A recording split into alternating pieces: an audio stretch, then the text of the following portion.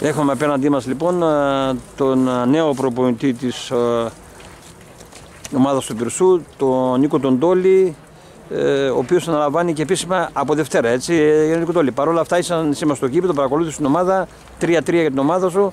Για πες μας.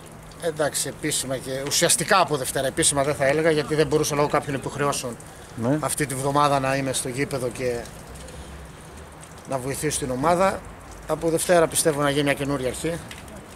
Σίγουρα η ομάδα έχει φτάσει σε πολύ κακό σημείο. Όχι μόνο αγωνιστικά θεωρώ, πιο πολύ εξωαγωνιστικά. Είτε θέλετε διοικητικά, είτε σε θέμα παραγόντων, είτε σε θέμα λειτουργίας.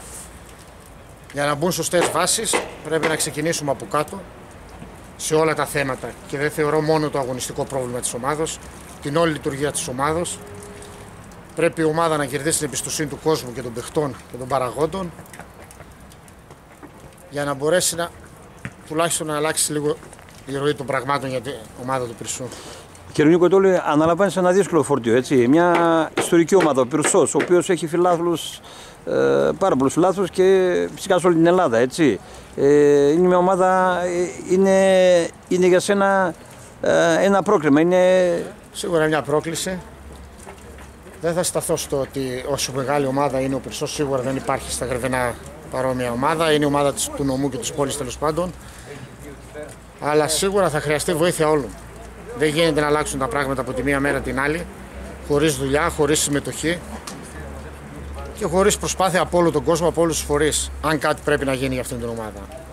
Αν δεν ενδιαφερθεί όλος ο κόσμος, έστω από έξω, καθένας από ένα πόστο, να δημιουργηθεί ένα σωστό πράγμα, δύσκολα να αλλάξει η εικόνα της. Βασικό μα στόχος είναι να γίνει ομάδα ελκυστική, σε θέμα λειτουργίας και παραγόντων να μπορέσουν να μπουν και νέα άτομα στην ομάδα, να έχει μια μεγαλύτερη βάση και μια μεγαλύτερη βοήθεια από το, γενικά από τον κόσμο της πόλης. Μετά το αγωνιστικό πιστεύω θα λυθεί σιγά σιγά. Πρώτα απ' όλα πρέπει να αποκατασταθεί η εμπιστοσύνη της ομάδας και το όνομα. Αυτά. Να σας ευχαριστήσω πάρα πολύ Γιώργη και έχουμε καλή επιτυχία στο νέο και δύσκολο έργο σου. Ευχαριστώ.